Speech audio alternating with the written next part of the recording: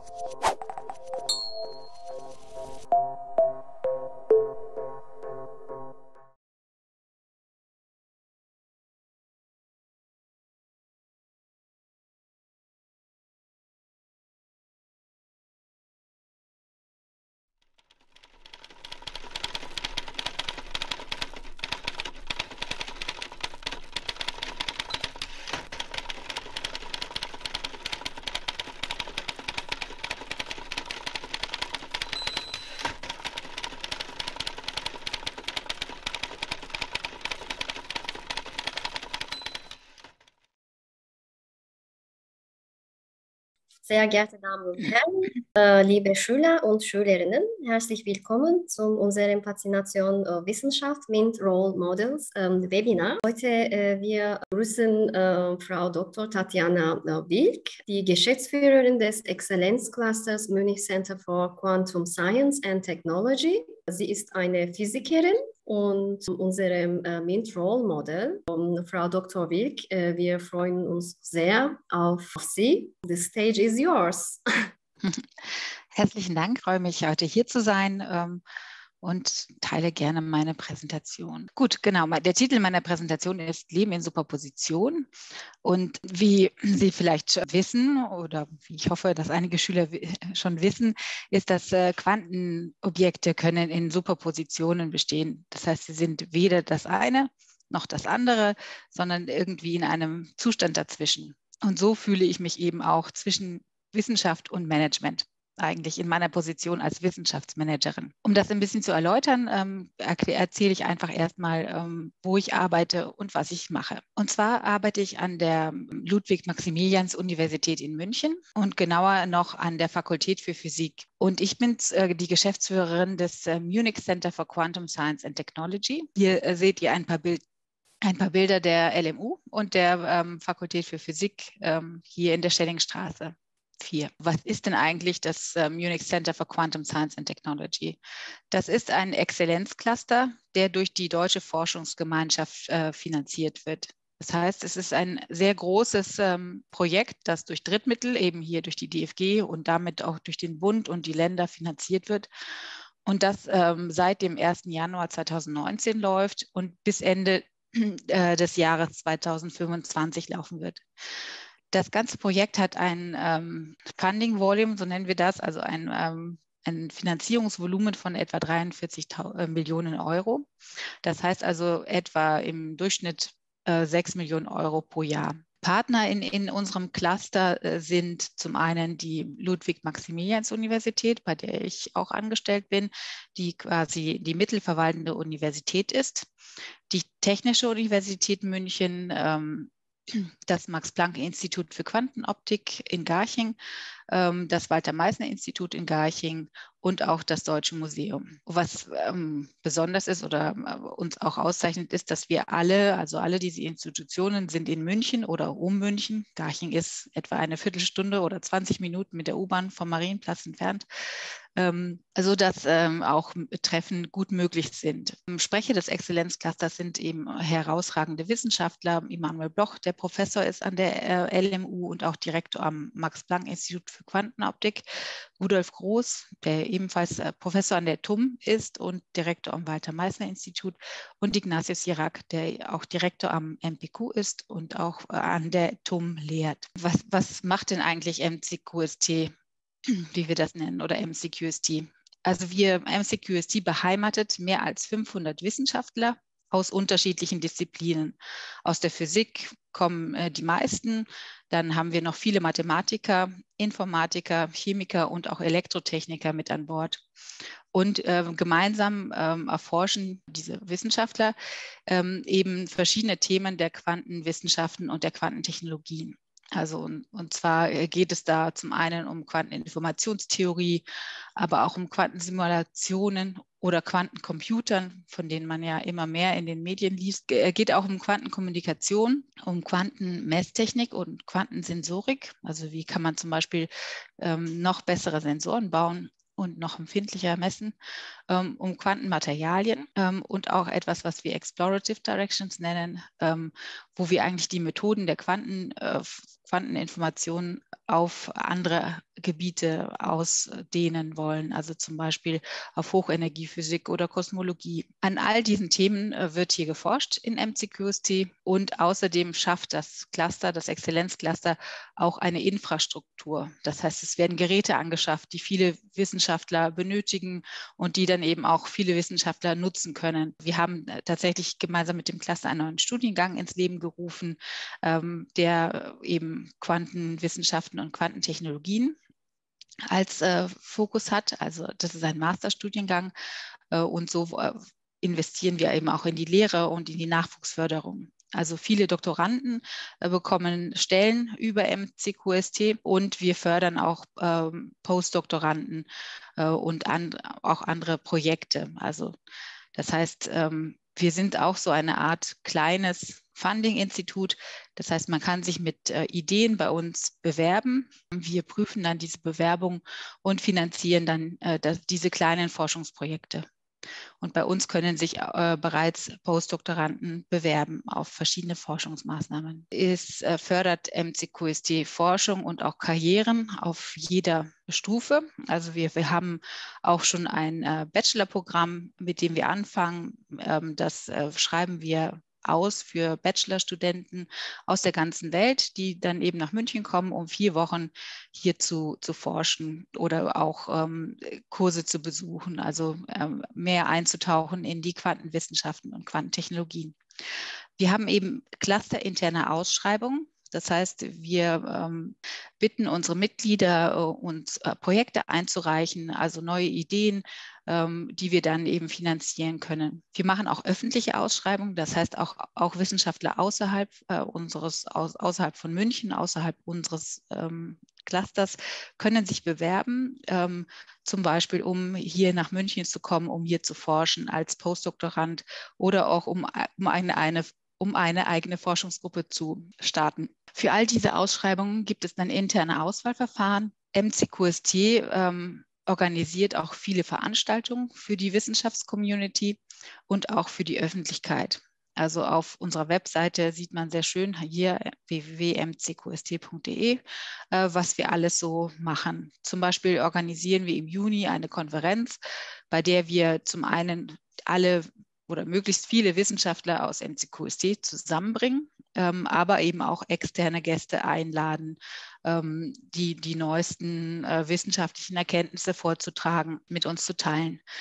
Ähm, wir, wir gehen aber auch zum Beispiel zu einer Forschungsmesse ähm, für Kinder und Jugendliche oder auch für Erwachsene, wo Forschung vorgestellt wird. Also da, da waren wir gerade an diesem Wochenende zum Beispiel Dort stellen wir zum einen ähm, die Quantenphysik her, also machen, haben so kleine Demonstrationsexperimente, die wir dort vorführen. Ähm, und es gibt auch öffentliche Vorträge dort, ähm, die, die, eben Quantenwissenschaften und Quantentechnologie erklären sollen. Wir machen auch viel, ähm, also kleine Videos zum Beispiel für Doktoranden, um äh, ihnen zu helfen, sich zurechtzufinden in, in, der, in der Wissenschaft und quasi die richtigen Entscheidungen zu treffen. Genau, meine Aufgaben als Geschäftsführerin äh, sind in diesem Bereich eben, ähm, ich habe die Budgetverantwortung für den Cluster.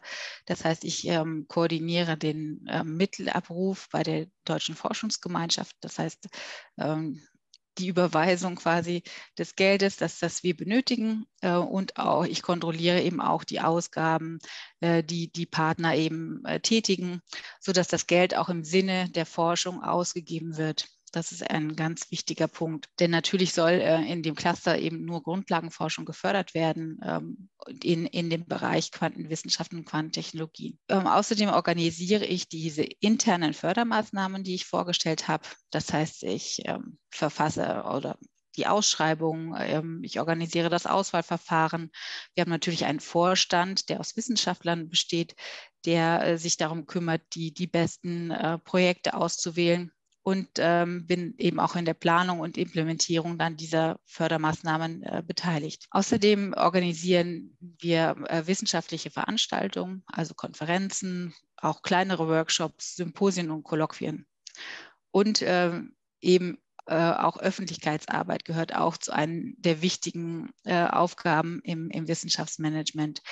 Zum einen äh, in der wissenschaftlichen Community selbst, ähm, das, heißt um den Forschungsstandort München äh, für die Quantenwissenschaften bekannter zu machen, äh, nehmen wir zum Beispiel auch ähm, an den DPG-Tagungen teil und sind dort vertreten ähm, oder auch bei anderen Konferenzen in, in unserem Forschungsgebiet. Außerdem äh, haben wir auch eigene Formate. Zum Beispiel haben wir einen YouTube-Kanal, bei dem wir ähm, Quantenwissenschaften und Quantentechnologien vorstellen mit kleinen Erklärvideos, die tatsächlich meist auf Englisch sind aber also und wir hoffen aber auch, dass viele äh, Zuschauerinnen, also auch Schüler, äh, die sollten eigentlich auch für Schüler geeignet sein. Das heißt, äh, sie sind eigentlich so gedreht, dass auch Schüler den Inhalten folgen können sollten.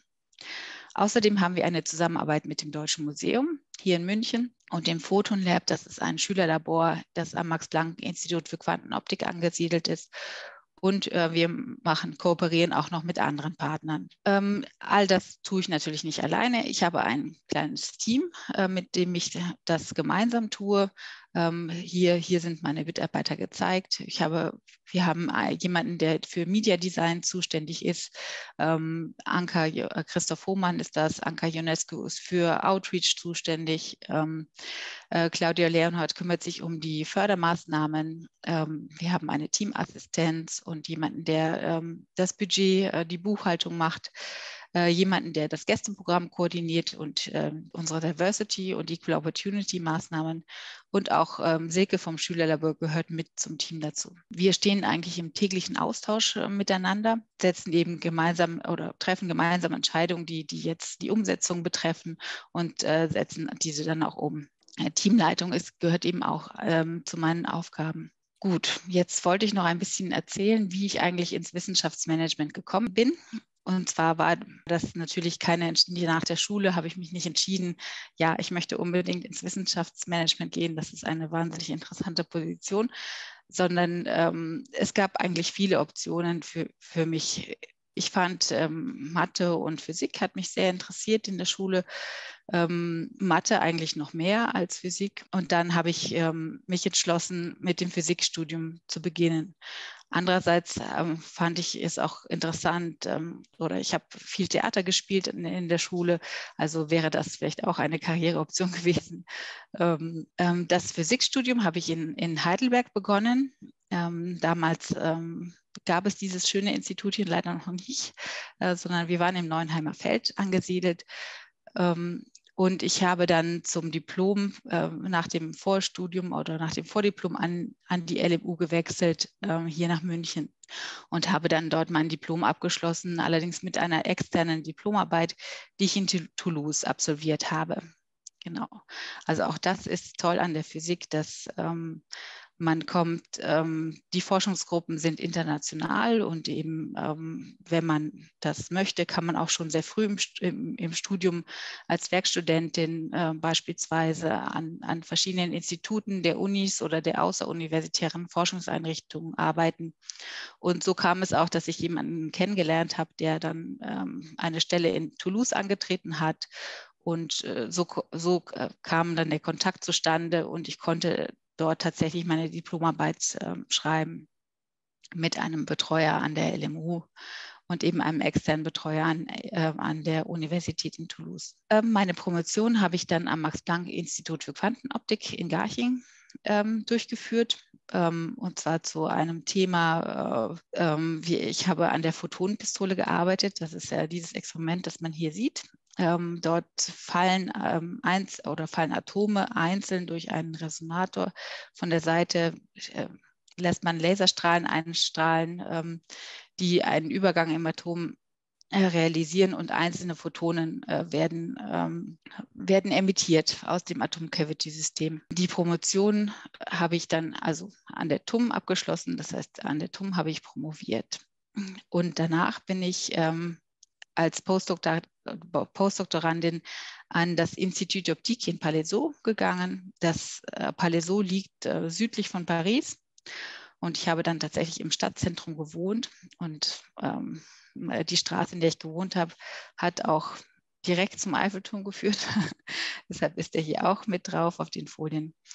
Und dort habe ich ähm, auch wieder in der Quantenoptik geforscht und zwar an der Verschränkung zwischen zwei einzelnen Atomen äh, mithilfe der Rödberg-Blockade. Ähm, ich bin dann wieder zurückgekehrt an das Max-Planck-Institut für Quantenoptik und war dann dort als äh, Wissenschaftlerin tätig. Und dann äh, kam ich so tatsächlich durch einen Zufall in das, ähm, in das Projektmanagement von einem EU-Projekt. Ähm, derjenige, der das Projekt angestoßen hatte und es eigentlich leiten, leiten sollte, ähm, hat das Institut verlassen. Und so suchte mein damaliger Chef eben jemanden, der, der das äh, Projekt managt. Das Projekt war ein äh, äh, großes EU-Projekt mit äh, zur Doktorandenausbildung mit 14 Partnern. Und da habe ich dann meine ersten Erfahrungen gemacht ähm, im Projektmanagement. Ich, ich habe das allerdings parallel zu meiner äh, wissenschaftlichen Laufbahn damals noch gemacht. Und ab Herbst, ähm, genau, und als Wissenschaftlerin habe ich eben an einem Experiment gearbeitet, ähm, an dem wir die Wechselwirkung zwischen einem einzelnen Atom und einem Lichtfeld in einem Resonator ähm, studiert haben, untersucht haben. Dann ab Herbst 2017 habe ich dann angefangen, ähm, auch an dem Antrag für MCQST, also für den Exzellenzcluster, mitzuarbeiten. Und ähm, dann im, im Herbst 2018 bekamen wir dann die gute Nachricht, dass der Antrag ähm, akzeptiert wurde von der DFG. Und so konnte das Projekt dann ähm, ab Januar 2019 starten. Genau, mir gefällt diese Position sehr gut, also denn sie ist sehr abwechslungsreich. Ähm, und äh, das Tolle ist, dass ich auch eben die Gelegenheit habe, viel mitzugestalten, also äh, wie der Cluster aufgebaut ist, ähm, welche Programme ähm, besonders wichtig werden und ähm, was wir auch nach außen tragen wollen. Und ähm, ich würde mich freuen, wenn es noch Fragen gibt. Und äh, falls wenn das der Fall ist, dann kommt gerne auf mich zu und äh, meldet euch per E-Mail bei mir zum Beispiel. Danke fürs Zuhören. Vielen Dank, äh, Frau Dr. Wilk. Ich möchte mit den ähm, Chatfragen ähm, anfangen. Sie sind ja Geschäftsführerin und äh, Sie sprechen von äh, ungefähr 6 Millionen äh, Euro pro Jahr Budget. Äh, dieses äh, Budget äh, klingt so viel Geld. wie gehen Sie mit so viel Geld um? ja, das kann ich gerne ein bisschen genauer erklären. Also wie ich auch schon gesagt habe, sind bei uns mehr als 500 Wissenschaftler ähm, tätig äh, im ähm, Exzellenzcluster und etwa 60 davon sind ähm, was Professoren oder Gruppenleiter, also leiten ein, ein eigenständiges Projekt. Und ähm, ungefähr 40 von, von diesen ähm, PIs, wie wir sie nennen, Principal Investigators, die haben ein festes Budget, das sie pro Jahr von uns bekommen dass sie dann eben ausgeben, um ihre Doktoranden zu bezahlen zum Beispiel oder um äh, Geräte zu kaufen. Ähm, ähm, und tatsächlich ist das dann pro ähm, BI gar nicht mehr so viel. Also es ist gerade mal eine Doktorandenstelle plus etwas Reisemittel plus etwas Verbrauchsmittel.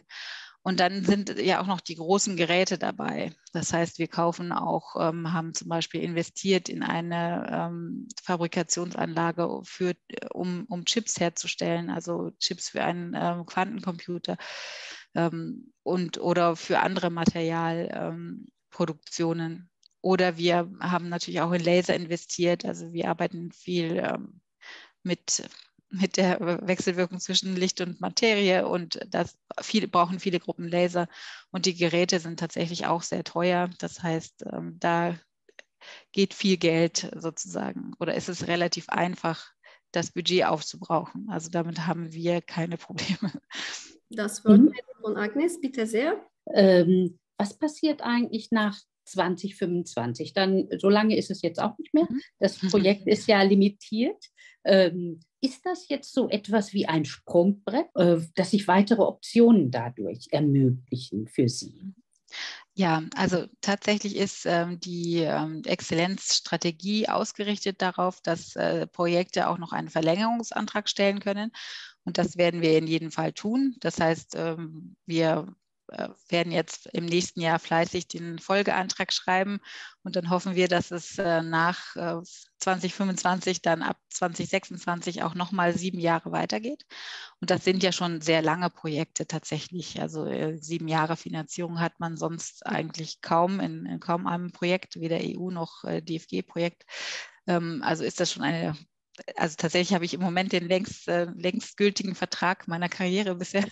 Also vorher, die, ähm, meine Verträge vorher waren immer kürzer. Aber tatsächlich ist es auch so, ähm, natürlich qualifiziert man sich durch diese Arbeit eben auch für äh, die Leitung anderer Projekte, die dann äh, auch nachkommen können. Also ich denke gerade die LMU und TUM hier in München haben äh, laufend große Projekte, die gemanagt werden müssen. Und da, dafür qualifiziert man sich natürlich dann auch und kann das eben als Sprungbrett nutzen, genau. Wie ist der typische Bewerbungsprozess für kleine Forschungsprojekte? Mhm.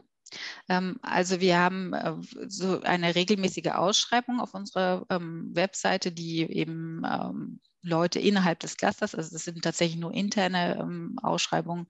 Ähm, und da, da haben wir eine kleine, ein kleines Formular, das heißt, die, die Personen, die Postdocs, die füllen das aus, das, Anw das Formular ähm, mit natürlich auch mit Referenzen und mit ähm, was sie erwarten, auch mit einer kleinen Budgetplanung. Und dann wird das äh, tatsächlich im Vorstand diskutiert und dann eben beschlossen, ob, ob das gefördert werden kann oder nicht. Das hängt natürlich dann auch davon ab, wie viele andere Projekte ähm, werden eingereicht, reicht das Budget, ähm, um, reicht das Budget, um, um wie viele Projekte zu fördern. Also da müssen wir dann manchmal sagen, naja, wir können jetzt ähm, einige Projekte leider nicht fördern, äh, weil das Budget nicht ausreicht. Können Sie ähm, ein paar Wörter sagen, die Rolle in der äh, örtlichen Schule. Können Sie äh, ein paar Details äh, geben über dieses Netzwerk? Gut, wir gehen tatsächlich selber nicht in Schulen, sondern also wir bringen Schulklassen äh, ins Photon Lab zum Beispiel. Ähm, das heißt, dort können die Schulklassen ähm, Experimente durchführen zur Quantenphysik, ähm, aber jüngere Schüler ähm, machen auch zur klassischen Optik Experimente, also mit Interferenz zum Beispiel ähm, oder so. Aber es gibt dort in dem Labor eben auch tatsächlich tatsächliche Quantenexperimente, also wie zum Beispiel den mhm. Quantenzufallsgenerator oder so, den, den, der dort realisiert wird zum Beispiel können Sie auch äh, äh, kommentieren über die Rolle der äh, Schülerlabore? Also ich denke, das ist ähm, auch ein ganz, ganz wichtiges Instrument, mit dem man auch tatsächlich sehr viele Schüler ähm, adressieren kann. Also äh, unser Schülerlabor hat, hat zum Beispiel also vor der Pandemie etwa 2000 äh, Schüler, Besucher pro Jahr gehabt. Mhm. Und ähm, na, jetzt äh, sind wir fast wieder bei diesen Zahlen. Also es geht ganz gut äh, wieder voran. Ähm, und in der Pandemie haben wir auch versucht, zum Beispiel Online-Material herzustellen, dass, dass die Schulen ähm, tatsächlich, naja, remote ähm, entdecken können, sodass, äh, aber mit dem Material können sich Schüler zum Beispiel auch vorbereiten.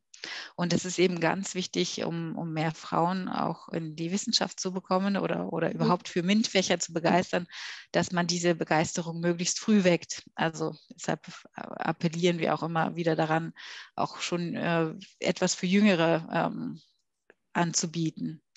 Und gemeinsam mit dem Photon Lab ähm, haben wir zum Beispiel auch ein, ein Hörbuch entwickelt. Also ah. das heißt Alice im Quantenland. Also hier sehen Sie auch die hinter mir, die Alice, genau, äh, mit der Schrödingers Katze. Und ähm, da versuchen wir eben auf spielerische Art und Weise schon ein paar, naja, die Faszination irgendwie ähm, auch schon an Kinder zu bringen. Äh, Sie haben auch eine ähm, Beauftragte für Diversity. Wie haben Sie Ihre ähm, Diversity und Equal Opportunities Pläne erstellt? Also, das, also die alle Exzellenzcluster brauchen einen Plan für ähm, Diversity, Equal Opportunity und mhm. Inclusion. Ähm, das heißt, es ist eine Forderung der DFG tatsächlich, dass man so etwas hat und auch umsetzt. Ähm, mhm. Und ähm, insofern war das natürlich auch haben wir das äh, bereits im Antrag natürlich verankert. Aber mhm. tatsächlich ähm, hatten wir dann auch großes Glück mit unserer ähm, Diversity und Equity und Inclusion Beauftragten, also ähm, Barbara Tautz, die viele Ideen mit eingebracht hat. Zum Beispiel haben wir ein Programm, das heißt ähm, Diversity in Leadership.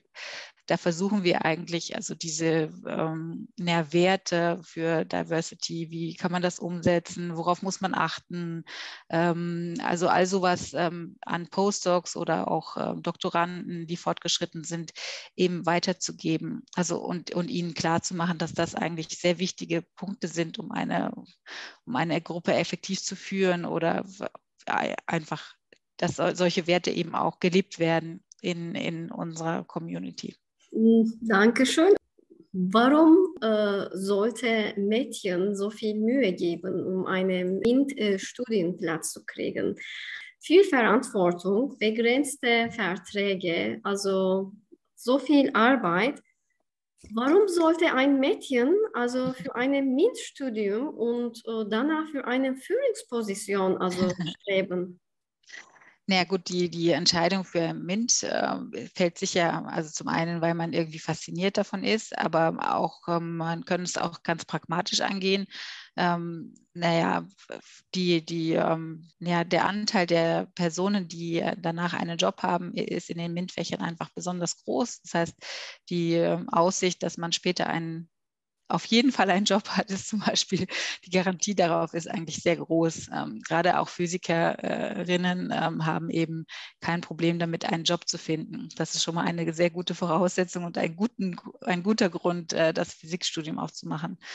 Und also ich finde, ja, die Aufgabe, die ich habe, ist sehr verantwortungsvoll und ähm, aber eben auch ähm, sehr sehr abwechslungsreich und, und vielseitig. Und das gefällt mir eben besonders gut. Und ja, also das ist natürlich nicht so schön, dass man nur befristete Verträge hat, aber ähm, ich, meine, ich, ich ähm, weiß auch, dass, äh, dass das naja, in der Firma kann es natürlich auch so gehen. Also es ist im, im Prinzip ein bisschen äh, unser Cluster funktioniert ein bisschen wie ein Startup, sage ich manchmal. Also weil viele unserer äh, Leute, die die sind wahnsinnig engagiert und wir machen wirklich wahnsinnig viele Veranstaltungen und Projekte. Ähm, also pro Jahr sind fast jede Woche äh, haben wir eine Veranstaltung. Und ähm, auch in einem Startup weiß man nicht, kommt die nächste Finanzierungsrunde oder nicht. Ähm, trotzdem sind, sind die Leute motiviert und glauben daran, dass es weitergeht. Und auch jetzt hier im Cluster, ich bin eigentlich davon überzeugt, dass äh, wir weiter gefördert werden. Also wenn wir hier nicht gro einen großen Fehler beim Antragschreiben machen. Ähm, aber ja, das kann man natürlich nicht wissen. Und ich denke, ich habe, bin eigentlich ein sehr optimistischer Mensch und denke, es geht immer irgendwie weiter. Und auch wenn es nicht ähm, jetzt, ups, hier ist, dann eben woanders. Ja, ich möchte mich da gleich anschließen. Es geht darum, ich möchte das so ein bisschen positiv abschließen, diese Frage, warum man sich für Physik interessieren sollte und um, wenn man dann immer nur diese begrenzten Zeitverträge hat. Es gibt ja auch die Alternative und ich denke, mit so einer Kompetenz wie bei Frau Wild jetzt, ähm, da ist es eine, äh, ich stelle es mir nicht schwierig vor, in die Wirtschaft zu wechseln, in ein großes Industrieunternehmen. Es muss ja nicht ein kleines Start-up sein, ähm, wo auch Managementpositionen sind und wo man dann äh, sofort äh, Dauerstellen bekommt. Gerade im MINT-Bereich sind die Zukunftsperspektiven, also die beruflichen, schon ausgesprochen gut. Nächste Frage ist für Ihre Position eine Promotion, Doktortitel notwendig oder könnte man auf anderem Wege die Karriereleiter bis zum Management erklimmen? Also ich glaube, es ist nicht unbedingt eine notwendige Voraussetzung, aber es ist schon, ähm, äh, es hilft schon sehr, wenn man äh, Erfahrung in der Forschung hat und wenn man weiß, wie, wie äh, die Gruppen dort arbeiten, wie die Wissenschaftler ticken. Also das ist einfach äh, wirklich sehr, sehr hilfreich. Auch um natürlich, man hat auch viel mit natürlich mit Professoren zu tun und mit äh, Gruppenleitern und äh, um denen auf Augenhöhe irgendwie zu begegnen, ist es schon ganz gut, wenn man da auch vorweisen kann, dass man selber mal geforscht hat. Also ob und welche Möglichkeiten Quantentechnologien in unser tägliches Leben bringen können. Also neue Berufe entstanden, neue Schlüsselkompetenzen. Ähm, also ich, glaube, also wir haben ja auch einen Studiengang mit ins Leben gerufen, der eben auch interdisziplinär ist. Ähm, da werden Inhalte, also es gibt zwei Pflichtvorlesungen, also es, es ist ein Masterstudiengang, das heißt, man kann aufbauen auf einem Physikstudium zum Beispiel, auf einem Chemiestudium, Informatik oder auch Electrical Engineering Studium. Ähm, man muss aber tatsächlich auch Quantenphysik schon gehört haben. Also das ist eine Voraussetzung, Zulassungsvoraussetzung. Ähm, und tatsächlich sind zwei Vorlesungen ähm, Pflichtvorlesungen. Das eine ist Quantum Hardware und das andere ist Quantum Information Theory. Und ähm, und danach kann man sich aber entscheiden, ob man eher in, in die Informatik geht und eher sich mit Programmierung beschäftigt ähm, oder so. Das heißt, es gibt da ganz oder auch in die Hardwareentwicklung und tatsächlich als Ingenieur ähm, die nächste Generation der Quantenchips äh, oder Messsensoren oder sowas ähm, entwickeln wird. Also das heißt, ich, ich würde nicht sagen, es ist nicht so eindeutig, welch, dass es ganz neue äh, Schlüsselfunktionen gibt, aber man braucht eben vielleicht ein anderes Set an, an Tools. Also man braucht vielleicht nicht unbedingt ähm, Kern- und Teilchenphysik, sage ich jetzt mal. Ähm, man kann auch ähm, die, das Nötige eben erfahren ähm, mit, mit anderen Vorlesungen, also oder so. Das heißt, ja, ich, ich würde sagen, dass ähm, ja, so ein neuer Studiengang bereitet sich ja gut darauf vor, zum Beispiel mhm. auf, auf, diese Herausforderungen. Für den Schüler und Schülerinnen vielleicht äh, könnten Sie auch ein bisschen im Detail über den äh, Photon Lab ähm, erzählen. Äh, ja, gerne. Ähm, ja, das Photon Lab ist wie gesagt ein ähm, Schülerlabor, bei dem äh, eigentlich also große und kleine Schüler ähm, willkommen sind. Also ich würde sagen, ab ähm, wahrscheinlich ab Jahrgangsstufe 6 oder so. Also ähm, also ab, äh, wenn, wenn Physik gelehrt wird quasi oder so, äh, auch da gibt es schon äh, Dinge, die, die die Schülerinnen entdecken können. Ähm, da, das werden dann eher Experimente sein zur ähm, Optik, zur klassischen Optik, ähm, oder äh, und je, je höher die Klassen sind, äh, die, die kommen, desto mehr äh, Quantenphysik werden die auch zu hören und zu sehen und zu erleben bekommen. Denn man kann tatsächlich im Photon Lab ähm, selber Experimente durchführen. Ähm, ja, und was toll ist, eben während der Pandemie haben wir eben auch dieses Online-Material ähm, erstellt, ähm, dass, dass die Schüler auch nutzen können, um sich vorzubereiten, um, um dann eigentlich noch direkter loslegen zu können, äh, um, um selber ex zu experimentieren. Das Schülerlabor ist außerdem am, am Max-Planck-Institut für Quantenoptik angesiedelt. Das heißt, ähm, die Schülerinnen bekommen eigentlich meistens auch einen Einblick in, in ein echtes Labor. Das heißt, wenn die Zeit es zulässt, dann wird eben versucht, dass auch ein Forscher ihnen ähm, dann ein, ein Labor zeigt. Und wenn Sie rückblicken als äh, Tatjana, was würden Sie, ob und was würden Sie anders machen in Ihren ähm, Schulzeiten? Ah, in meiner Schulzeit. Ja, ich würde wahrscheinlich nicht Englisch und Französisch abwählen, sondern also ja, tatsächlich habe ich dann, also ähm, die Sprachen zu lernen, ähm, ist mir zum Glück nicht so schwer gefallen. Ähm, dann während beim erleben beim Leben in, in einem anderen Land. Also das äh, fand ich, ich konnte immer irgendwie die Sprachen intuitiver besser lernen als ähm, mit Grammatik und Vokabellernbuch oder so. Und ja, in, insofern, das würde ich wahrscheinlich anders machen als Schülerin. Ich glaube, das, was mir vielleicht äh, geholfen hätte im Studium noch mehr, ist das Lernen zu lernen. Also denn das, da, darüber bin ich im Studium äh, auch zuerst gestolpert, dass, naja, plötzlich war es eben schwierig und plötzlich konnte ich es nicht mehr einfach aus dem Ärmeln schütteln, äh, was, was äh, dort gelehrt wurde.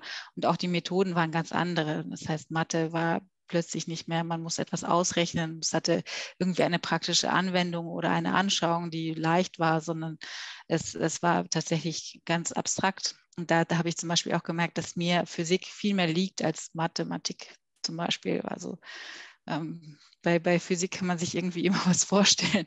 Also auch wenn man das vielleicht in der Quantenphysik nicht immer so einfach ist, aber doch, ich, ich habe schon immer irgendwie Bilder im Kopf und kann mir das vorstellen. Und in der Mathematik muss man vielleicht noch ein bisschen abstrakter denken als in der Physik. Und jetzt, ich kann auch sehen, Alice und äh, die Katze. Ah ja, genau. Mhm.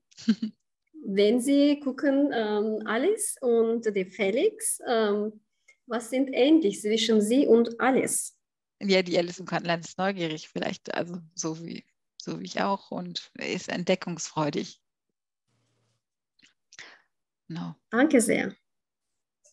Dankeschön auch.